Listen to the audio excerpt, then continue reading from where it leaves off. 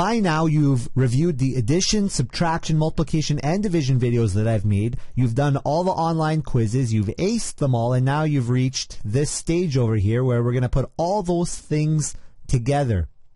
If you need a reminder on how to do some of these things, you may have to go back and rewatch some of those videos. I've drawn a triangle here because it's going to help guide us towards the answer. We've got all of these numbers put together. We're going to have to figure out what the answer is. You've remembered, you probably remember this here. BEDMAS. Remember what it stands for? The B, brackets, exponents, division, multiplication, addition, subtraction. Okay, that's the order that we have to go in. We're going to go from the B all the way down this way in that order. However, once you get to division and multiplication, whichever one comes first, you do first. How do you decide which one comes first? Pretty simple. You go left to right in the equation. You go from this way, you go that way, and you see which one comes first. You see here it's multiplying first, dividing is last. Okay, so you do that in that order. Likewise, once you get to addition and subtraction, and all the division multiplication have been solved, you're at addition, subtraction, whichever one comes first between these two, you are going to solve in that order. Now, that being said, we have to start with brackets. Are there any brackets? Yes, there are. There are many brackets in this equation. There's a bracket here, bracket, bracket, bracket, bracket. We have five sets of brackets. However, look inside the brackets. Is there anything to solve? Look inside of this pair here. There's a 9. Is it asking us to do anything with the 9? No. It's simply a 9 sitting in the brackets. How about the next set of brackets? It says negative 7. Can we do anything with it? Is it asking us to do anything with that negative 7? No, nothing in the brackets here. Nothing in this bracket, nothing in here that indicates we need to do anything with the numbers. So we are done with the brackets. There's nothing to do.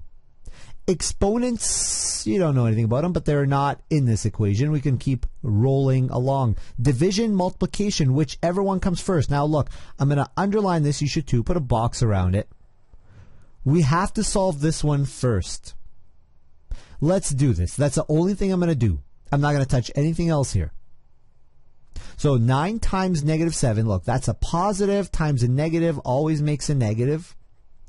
9 times 7 is 63. So negative 63. Everything else does what? Drops down. Positive 5 po- plus negative 6 divided by negative 3. Okay, so we've done the multiplication part, but now we have to do the division. And it's over here, so I'm going to put a box around it. You should too. Now look, here there was one, two, three, four, five terms. In the next row, now we have one, two, three, four terms. You can probably guess what we're going to get in the next one. We should get 3. Look, what's negative 6 divided by negative 3? Negative divided by negative is positive. 6 divided by 3 is 2. Put it in the brackets. What do we do with all that other stuff? Right, it falls down. We'll go positive 5 in brackets. We'll put a takeaway subtraction here. We're going to put negative 63 in brackets beside it we have three. One, two, three. We're going to have two in the next one if we're doing it right. But what's left over? We're done division, multiplication. The only thing remaining is addition and subtraction. Whichever one comes first, you do first. Subtraction it is. What's negative 63 minus positive 5? Remember the shortcut I taught you in that video. Look at these symbols. If they are different, we go left. We start at negative 63 Here's my mental number line. I'm going to go to the left five times. Negative 64, negative 65, negative 66, 67, negative 68 is my answer for that. And then everything else falls down. Positive 2.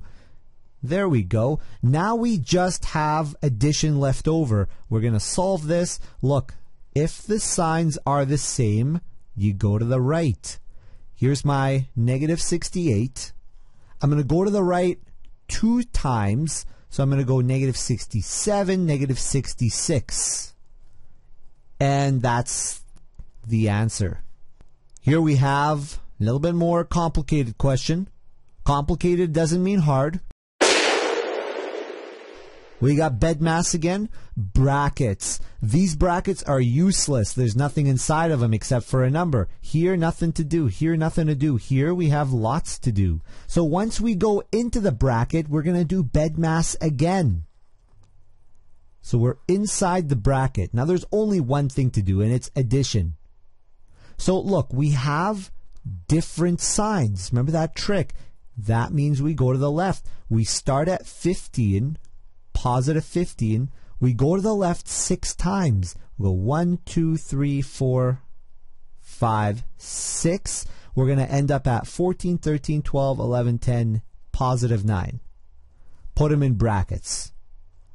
Everything else is in brackets. May as well put him in brackets. Look, once we're done, the, we don't need those brackets anymore once we're done with them. Once we solve inside that bracket, we don't need these big brackets anymore. We're done with them. So I'm just going to put my answer there. I'm going to put my division sign, my negative 3. I'm going to put my negative over here. I'm going to put negative 7.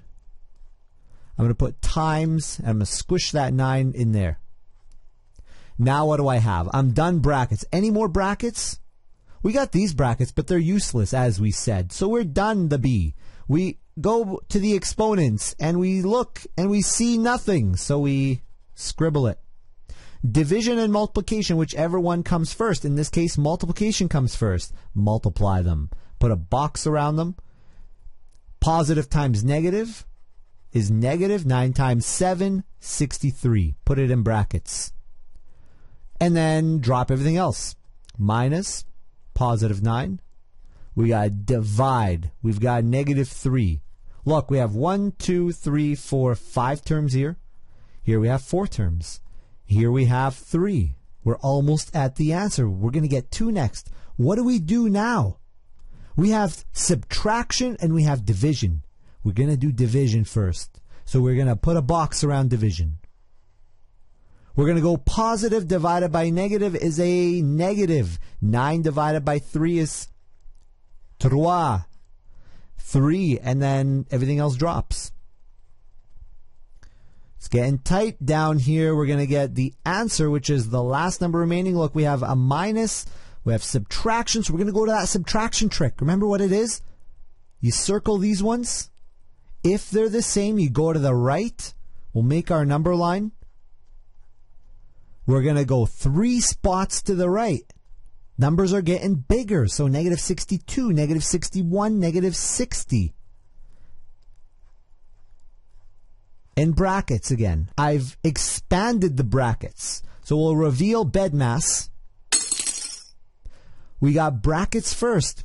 This bracket's useless, useless. We got a big monster bracket in here. What do we do first? We have to do BEDMAS in the brackets. We have addition and we have division. Right, division comes first. So we'll put a box around the division part we're going to say negative divided by a negative is a positive. 6 divided by 3 is 2. We got to bring down, now put it in brackets so you don't get mixed up.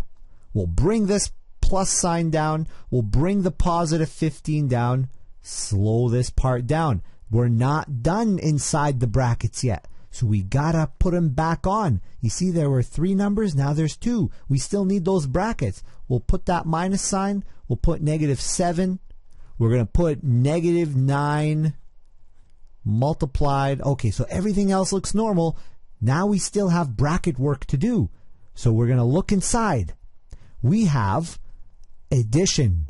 So we'll box this addition. Now, positive 15 plus positive 2 we're going to go to the right.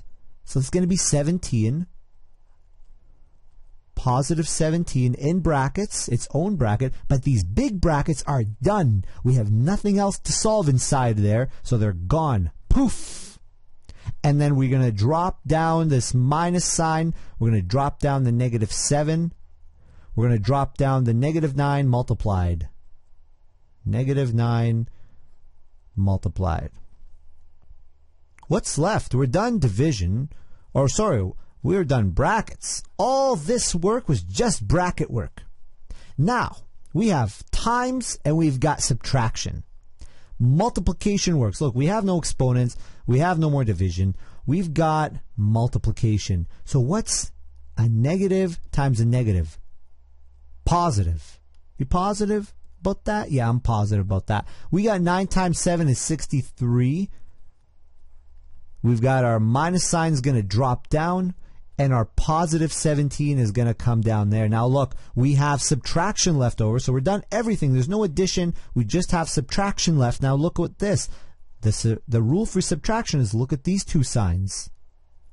If they're different, go to the left. Here's 63 on our number line.